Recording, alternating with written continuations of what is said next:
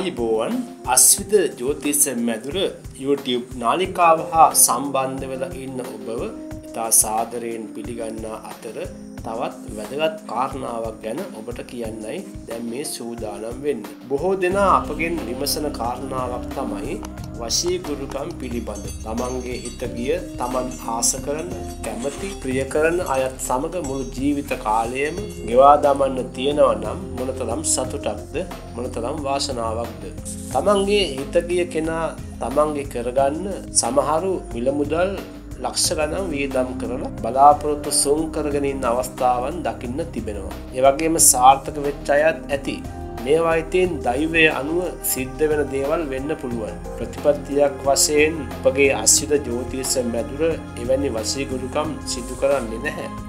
නමුත් මම කල්පනා කලා නිකරුණේ මිනමුදල් වියදම් කරලා බලාපොරොත්තු කඩවුණු ජීවිතය ගැන කලකිරීමෙන් ඉන්න යම් යම් අය වෙනුවෙන් නොමිලේම තමන්ටම කරගන්න පුළුවන් පුංචි මංචි ගුරුකමක් කියලා දෙන්න. මේක හරිම පහසුවෙන් ඔබටම කරගන්න පුළුවන්. සත පහක්වත් වියදම් වෙන්නේ නෑ. මල් බුලත් දට්ටු හදාගෙන වරුගලන් ජීවම් කරන්න දුම්මල මතුරන්න ලේගොටු දෙන්න මේ කිසිම දෙයක් අවශ්‍ය වෙන්නේ නෑ.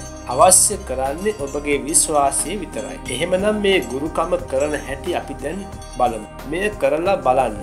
ප්‍රතිඵල තිබෙනවනම් පහලින් කමෙන්ට් කරන්න. මේ ගුරුකමට කියන්නේ ඉගුරු කෑල්ලෙ ගුරුකම කියලා. ඉගුරු කෑල්ලක් විතරයි අවශ්‍ය කරන්නේ.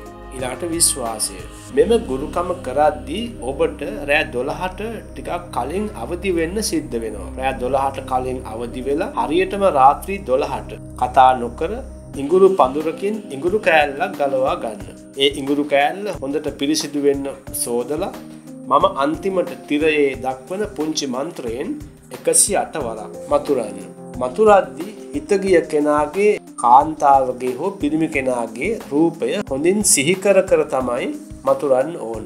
රූපය අදාළ කෙනාගේ රූපය සිහිකරගෙන එකසි අටවරක් මතුරලා අවසං වනාට පස්සේ ඒක පැත්තකින් තියලා ඔබ සුපුරුදු පරිදි විදාගන්න. පහුවදා මේ ඉඟුරු කෑල්ල කටේ තියාගෙන අවශ්‍ය කෙනා සමඟ කතා කරන්න. ටිකන් ළඟට ගිහින් කතා කරන්න. දෙදනාගේ සුළඟ වදින තරමේ ළඟට ගිහින් කතා කරද්දි ඔහුගේ හෝ ඇයගේ ඇස් දිහා බලාගෙන කතා කරන්න. ඒවගේම තොල් දිහා බලාගෙන කතා කරන්න. දැන් එයාට ඔයාව නැතිවම බැරි වෙනවා. ඔයාව හොයාගෙන ඒවි. ඔයාට එයාව වශී වෙනවාමයි.